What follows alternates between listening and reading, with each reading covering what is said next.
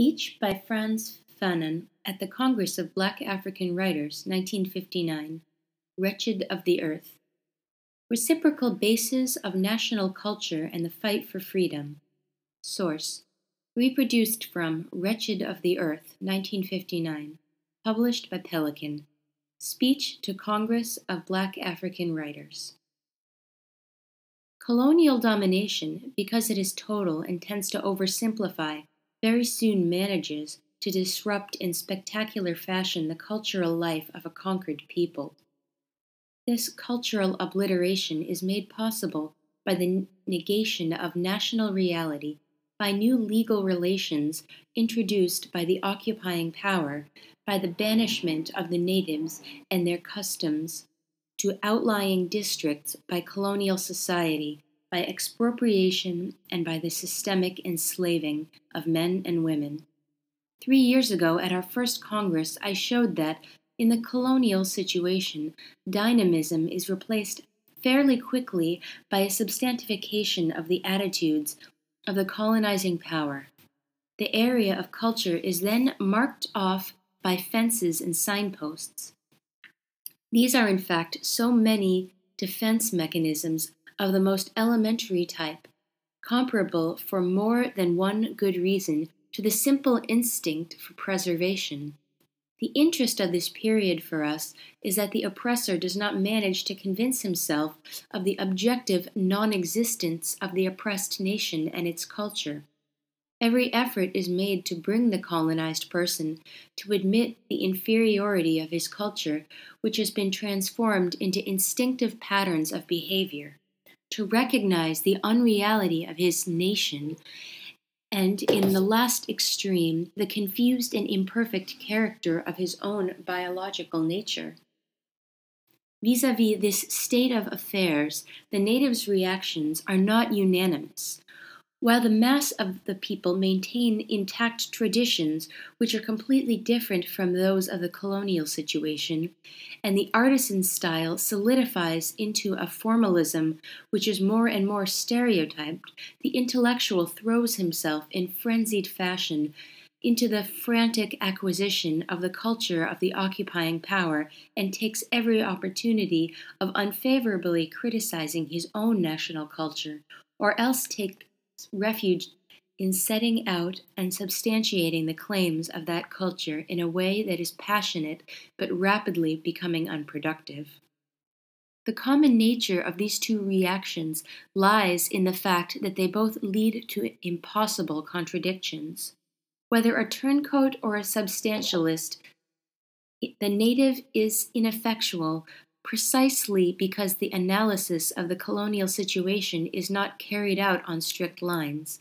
The colonial situation calls a halt to national culture in almost every field. Within the framework of colonial domination, there is not and there will never be such phenomena as new cultural departures or changes in the national culture. Here and there, valiant attempts are sometimes made to reanimate the cultural dynamism and give fresh impulses to its themes, its forms, and its tonalities. The immediate, palpable, and obvious interest of such leaps ahead are nil. But if we follow up the consequences to this very end, we see that preparations are being thus made to brush the cobwebs off national consciousness, to question oppression, and to open up the struggle for freedom. A national culture under colonial domination is a contested culture whose destruction is sought in systemic fashion. It is very quickly becomes a culture condemned to secrecy. This idea of clandestine culture is immediately seen in the reactions of the occupying power, which interprets attachment traditions as faithfulness to the spirit of the nation and as a refusal to submit this persistence in following forms of culture which are already condemned to extinction is already a demonstration of nationality, but is a demonstration which is a throwback to the laws of inertia. There is no taking of the offensive and no redefining of relationships. There is simply a concentration on a hard core of culture which is being more and more shriveled up, inert, and empty. By the time a century or two of exploitation has passed, there comes about a veritable emaciation of the stock of national culture. It becomes a set of automatic habits, some traditions of dress, and a few broken down institutions. Little movement can be discerned in such remnants of culture. There is no real creativity and no overflowing life. The poverty of the people, national oppression, and the inhibition of culture are one and the same thing. After a century of colonial domination, we find a culture which is rigid in the extreme, or rather, what we find are the dregs of culture in mineral strata.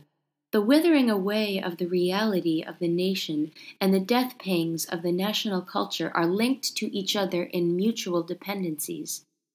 This is why it is of capital importance to follow the evolution of these relations during the struggle for national freedom. The negation of the native's culture, the contempt for any manifestation of culture, whether active or emotional, and the placing outside the pale of all specialized branches of organization contribute to breed aggressive patterns of conduct in the native. But these patterns of conduct are of the reflexive type. They are poorly differentiated, anarchic, and ineffective. Colonial exploitation, poverty, and endemic famine drive the native more and more to open, organized revolt. The necessity for an open and decisive breach is formed progressively and imperceptibly and comes to be felt by the great majority of the people. Those tensions which hitherto were non existent come into being. International events, the collapse of whole sections of colonial empires, and the contradictions inherent in the colonial system strengthen and uphold the natives' combativity while promoting and giving support to national consciousness. These newfound tensions, which are present at all stages in the real nature of colonialism, have their repercussions on the cultural plane. In literature, for example, there is relative overproduction. From being a reply on a minor scale to the dominating power, the literature produced by natives becomes differentiated and makes itself into a will to particularism. The intelligentsia, which during the period of repression was essentially a consuming public, now themselves become producers. The literature at first chooses to confine itself to the tragic and poetic style, but later on novels, short stories, and essays are attempted. It is as if a kind of internal organization or law of expression existed which wills that poetic expression become less frequent in proportion as the objectives and the methods of the struggle for liberation becomes more precise. Themes are completely altered, in fact, we find less and less of bitter, hopeless recrimination, and less also of that violent, resounding, florid writing which, on the whole, serves to reassure the occupying power. The colonialists have in former times encouraged these modes of expression and made their existence possible.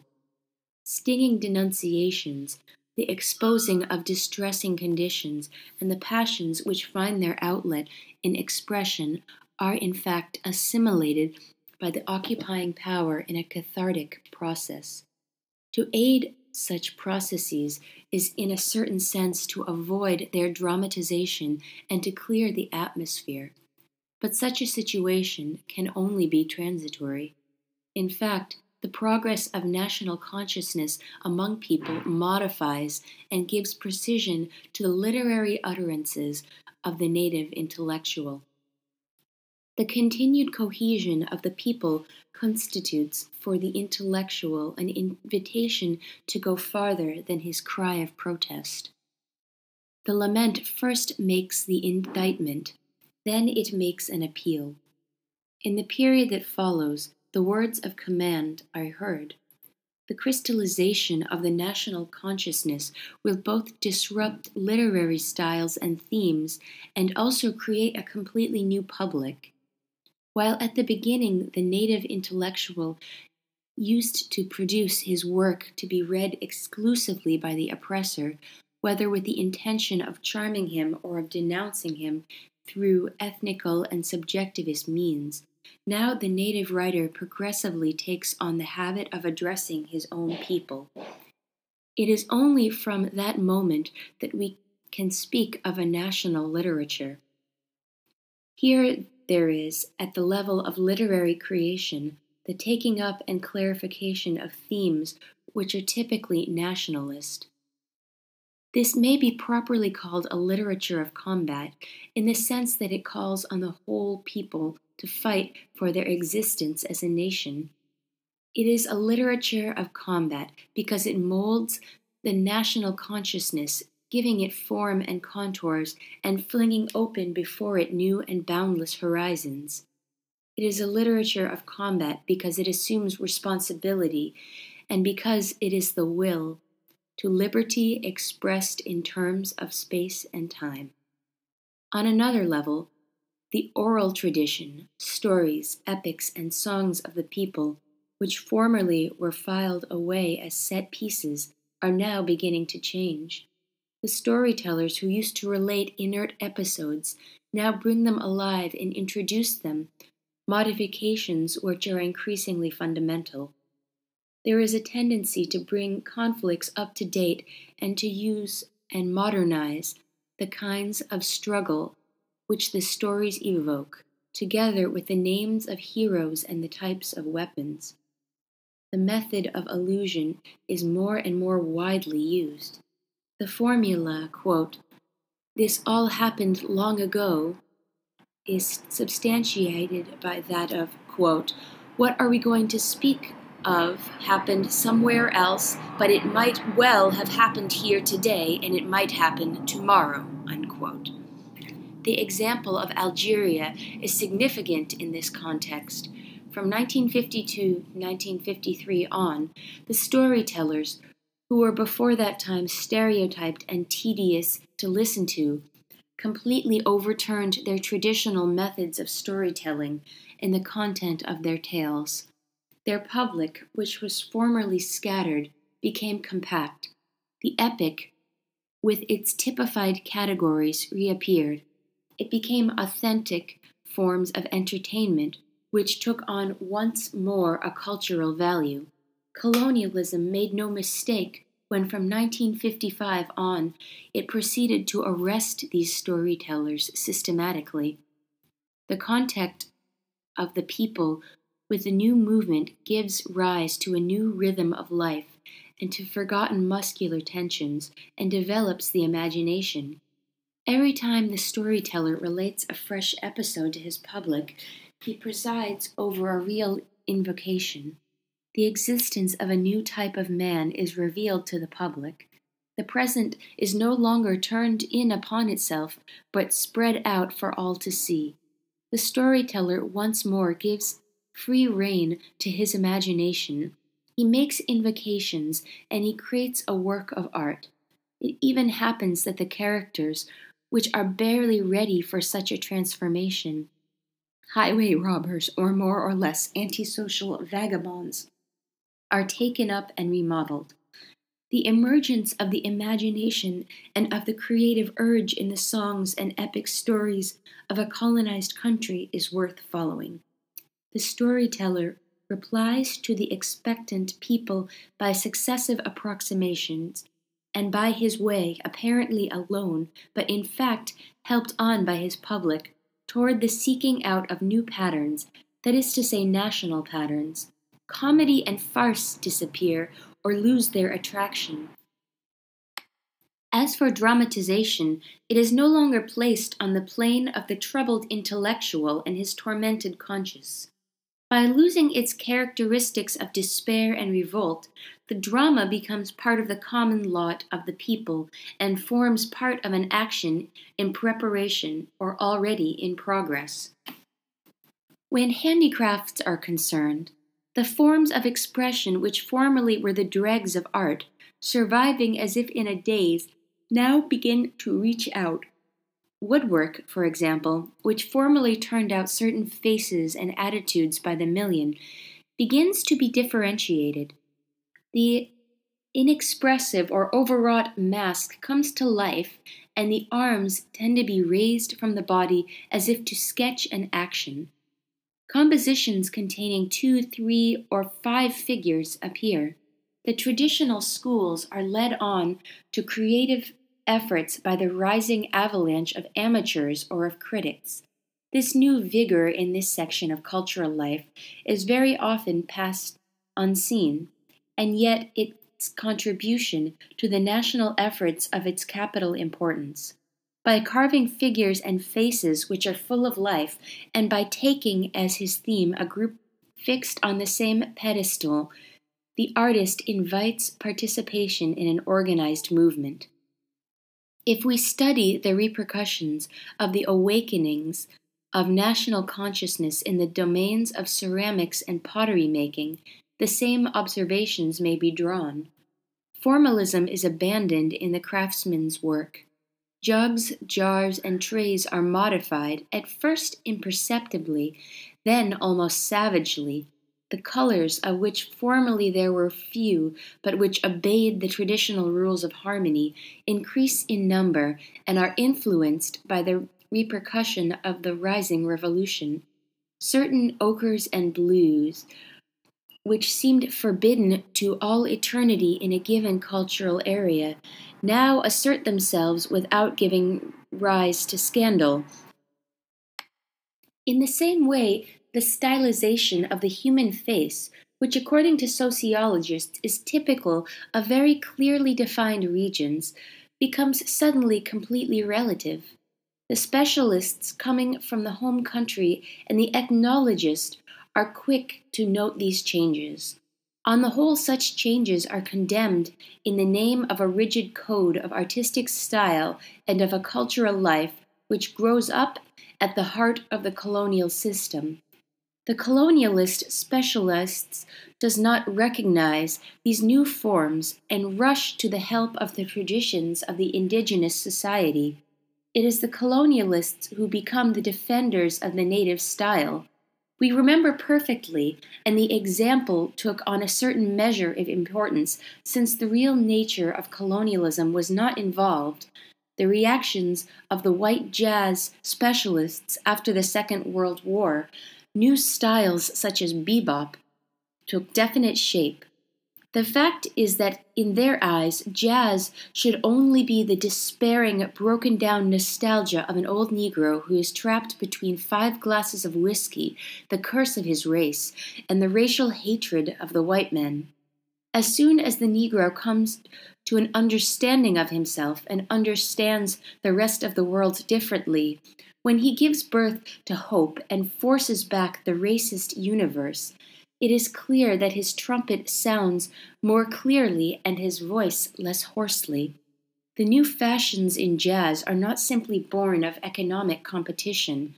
We must without any doubt see in them one of the consequences of the defeat, slow but sure, of the southern world of the United States and it is not utopian to suppose that in fifty years' time the type of jazz howl hiccuped by a poor misfortunate Negro will be upheld only by the whites who believe in it as an expression of Negrohood and who are faithful to this arrested image of a type of relationship we might, in the same way, seek and find in dancing, singing, and tradition, rites and ceremonies, the same upward springing trend, and make out the same changes and the same impatience in this field. We, well before the political or fighting phase of the national movement, an attentive spectator can thus feel and see the manifestation of new vigor and feel the approaching conflict. He will note unusual forms of expression and themes which are fresh and imbued with a power which is no longer that of invocation, but rather of the assembling of the people, a summoning together for a precise purpose. Everything works together to awaken the native's sensibility and to make unreal and unacceptable the contemplative attitude or the acceptance of defeat.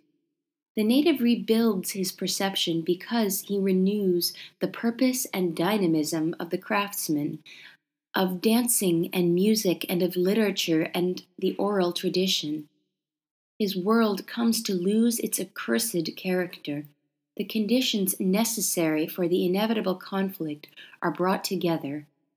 We have noted the appearance of the movement in cultural forms, and we have seen that this movement and these new forms are linked to the state of maturity of the national consciousness. Now, this movement tends more and more to express itself objectively in institutions. From thence comes the need for a national existence, whatever the cost. A frequent mistake, and one which is moreover hardly justifiable, is to try and find cultural expression for and to give new values to native culture within the framework of colonial domination. This is why we arrive at a proposition which at first sight seems paradoxical. The fact that in a colonized country, the most elementary, most savage, and the most undifferentiated nationalism is the most fervent and efficient means of defending natural culture. For culture, it is first the expression of a nation, the expression of its preferences, of its taboos, and of its patterns. It is at every stage of the whole of society that other taboos, values, and patterns are formed. A national culture is the sum total of all these appraisals. It is the result of internal and external extensions of exerted over society as a whole and also at every level of that society. In the colonial situation, culture, which is doubly deprived of the support of the nation and of the state, falls away and dies. The condition for its existence is therefore national liberation and the renaissance of the state. The nation is not only the condition of culture, its fruitfulness, its continual renewal, and its deepening. It is also a necessity.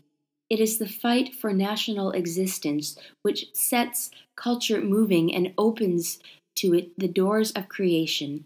Later on, it is the nation which will ensure the conditions and framework necessary to culture. The nation gathers together the various indispensable elements necessary for the creation of a culture, those elements which alone can give it credibility, validity, life, and creative power. In the same way, it is its national character that will make such a culture open to other cultures and which will enable it to influence and permeate other cultures. A non existent culture can hardly be expected to have bearing on reality or to influence reality. The first necessity is the re establishment of the nation in order to give life to national culture in a strictly biological sense of the phrase.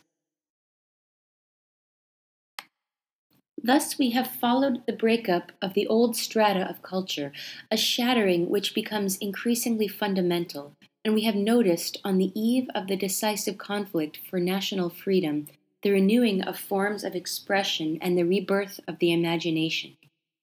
There remains one essential question What are the relations between the struggle, whether political or military, and culture?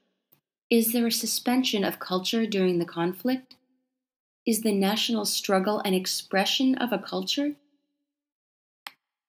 Finally, ought one to say that the battle for freedom, however fertile a posteriori with regard to culture, is in itself a negation of culture?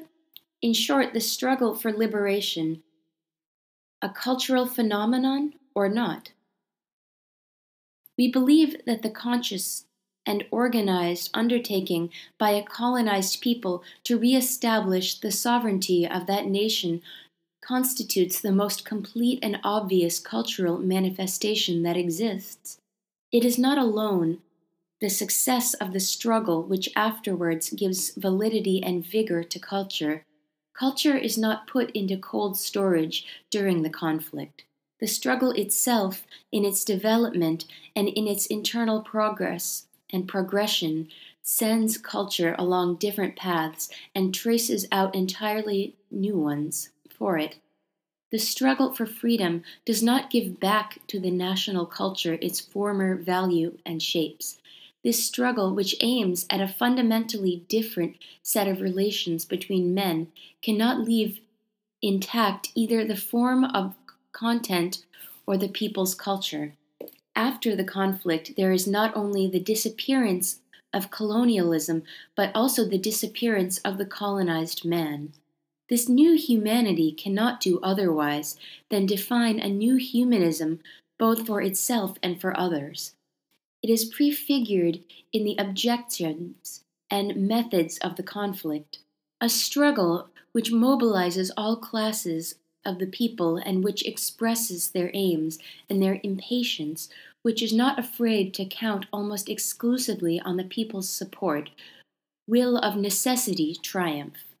The value of this type of conflict is that it supplies the maximum of conditions necessary for the development and aims of culture. After national freedom has been obtained in these conditions, there is no such painful cultural indecision which is found in certain countries which are newly independent, because the nation, by its manner of coming into being and the terms of its existence exerts a fundamental influence over culture. A nation which is born of the people's concerted efforts and which embodies the real aspirations of the people while changing the state cannot exist save in the expression of an exceptionally rich forms of culture. The natives who are anxious for the culture of their country and who wish to give it a universal dimension ought not therefore to place their confidence in a single principle of inevitable, indifferentiated independence written into the consciousness of the people in order to achieve their task. The liberation of the nation is one thing, the methods and popular content of the fight are another. It seems to me that the future of national culture and its riches are equally also part and parcel of the values which have ordained the struggle for freedom. And now it is time to denounce certain phrases. National claims, it is here and there stated, are a phase that humanity has left behind. It is the day of great concerted action, and retarded nationalists ought, in consequence, to set their mistakes aright. We, however, consider that the mistake, which may have very serious consequences, lies in wishing to skip the national period. If culture is the expression of national consciousness, I will not hesitate to affirm that in the case with which we are dealing, it is the national consciousness which is the most elaborate form of culture. The consciousness of self is not the closing of a door to communication. Philosophic thought teaches us, on the contrary, that it is guarantee.